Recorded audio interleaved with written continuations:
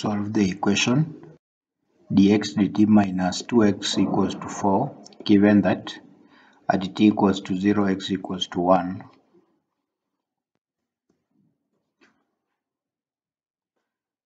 get the Laplace transform of this equation. So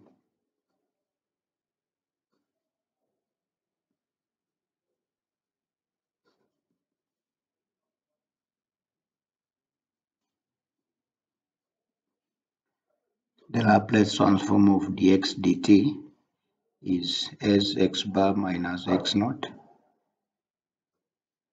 Then the Laplace transform of x, this will be equals to x bar.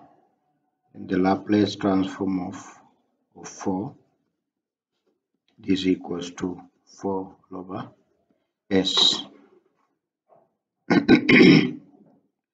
Now once we have gotten the Laplace transform of this equation, we now rewrite the equation. Now the equation will be Sx bar minus x naught, which is this one, minus 2x bar equals to 4 all over s. So once we write the equation, we now insert in the initial conditions. They are saying that uh, at t equals to 0 x equals to 1 so this x1 is, is our x naught here. So the equation becomes s x bar minus 1 minus 2 x bar. This equals to 4 all over s. Now this one crosses to the other side so here we have s minus 2 we factorize out x bar equals to now it will be 1 plus 4 over s. Now here can get the LCM. The LCM here is s. 1 into s is because the s times times 1 we have s. Then plus plus 4.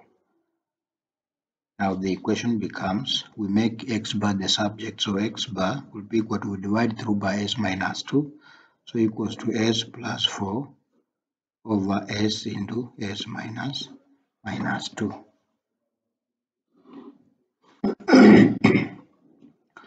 so from here we get the partial fraction of this this expression.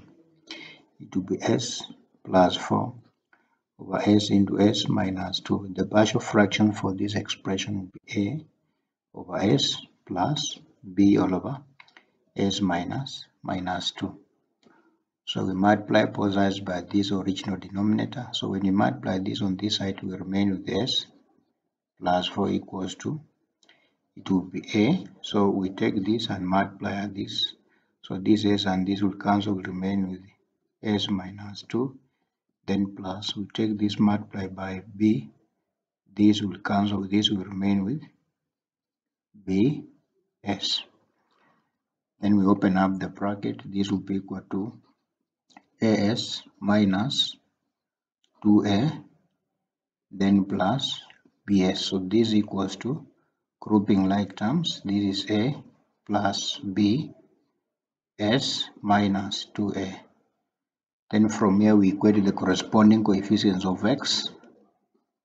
Now here the coefficient of this x is this one. So it will be a plus b equals to the coefficients of this x is 1 like that and then we equate the corresponding constant. So this we, we equate the, the constant terms. We have minus 2a equals the constant term here is 4 so from this equation we can be able to get the value of a. So here a equals to 4 all over 2 which is equals negative negative 2 so from here we can also get the value of b because we know that uh, that a now a is negative 2 so we have negative 2 plus b equals to 1 therefore b equals to 1 plus 2 which equals to, to 3 uh, therefore we are saying that a equals negative 2 b equals to to 3 so here we are saying that x bar equals to now um, this our a is negative negative 2 all over s then plus b is 3 3 all over s minus 2 Now to solve this equation, we get the Laplace inverse on both sides. So get the Laplace inverse of x bar equals to the Laplace inverse of negative 2 over s plus 3 all over s minus 2. The inverse of x bar will be x equals to. So here we have the inverse of this, it will be minus 2 then plus 3 the Laplace inverse of this will be exponent exponent uh, 2t therefore x equals to 3 exponent 2t minus minus 2 thank you for watching